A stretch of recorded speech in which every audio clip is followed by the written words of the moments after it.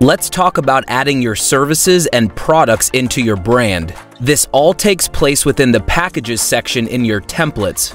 Now, I know when you hear the term package, you might think of a cruise vacation where you get the four day ocean view room upgrade with the all you can eat and drink package, but a package in Dubsado just refers to a template for line items on an invoice. A package can be a single product or service, an add on, an a la carte item, or it could be multiple products and services grouped together as a business owner if you offer standard set pricing or offer completely custom work.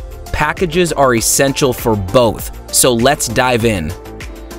First, we'll head to Templates, Packages. You'll notice that I already have some packages pre-built as an example, but feel free to either edit or remove the sample packages that come in your account. To create a new package, click Add Package. Make sure you add the name of your package at the top of the screen by clicking on the package name. Package names don't appear on client invoices at all, so feel free to use your own naming convention here to help you stay organized on the back end. We'll also talk about a cool way to organize your packages at the end of this video. Next, click New Line Item. This is where you'll add the actual product or service you're offering. This section will be visible to the client, so name the item clearly. You can also add a description for greater detail. If you want to include multiple lines with bullet points, you can toggle that option on here, then just hit enter to start a new bullet.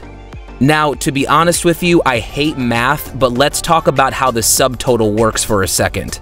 The quantity times the price equals the item's subtotal, so you'll want to enter a value of at least 1 for the quantity, even if you're offering a service and don't think of your services as products.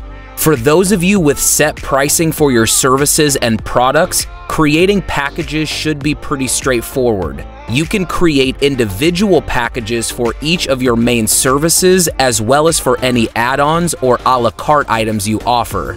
Now, business owners that do custom work, I haven't forgot about you. If you do completely custom work, you should still take advantage of packages as a starting point.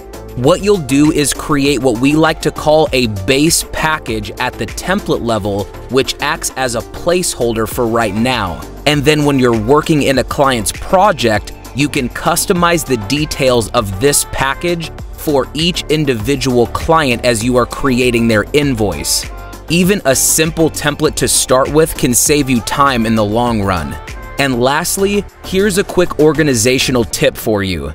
After creating a number of packages, you can rearrange them in the packages list by dragging and dropping each package into the order that works best for you. Since we currently don't have folders for packages, you can create cool headers to help organize your packages.